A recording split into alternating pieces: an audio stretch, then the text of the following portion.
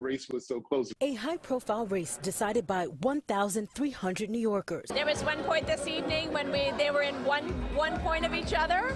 In the tight Democratic primary fight for an open Manhattan and Brooklyn congressional seat, former federal prosecutor Dan Goldman came out on top, defeating progressive assembly member Yuh-Line Niou. There was a sense that Dan would pull this out. And look, he spent a lot of his own money um, in those last few weeks. Hours after declaring victory, Goldman appeared on the Pix 11 Morning News, focused on a future in Washington. We are going to have to go on the offensive against a bad faith Republican Party, and we're going to have to figure out a new playbook. The 10th congressional district is a Democratic Party stronghold. In most years, the Democratic primary winner would be heavily favored to also win in November. But political insiders are now questioning whether Yuh-Line Niou might run again in the general election as a candidate for the Working Families Party.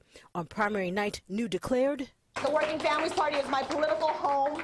Niou supporter Cynthia Nixon ran for governor on the Working Family Party's ballot line. We asked Nixon on primary night if there could be a Goldman Niou rematch in November. It's a little too early, but I think that is a possibility. I do think there's going to be some some really tough conversations in the next few days to figure out what the next steps are going to be. We did reach out to Niou for an interview today. Her campaign said they will check back in with us when she is ready to speak.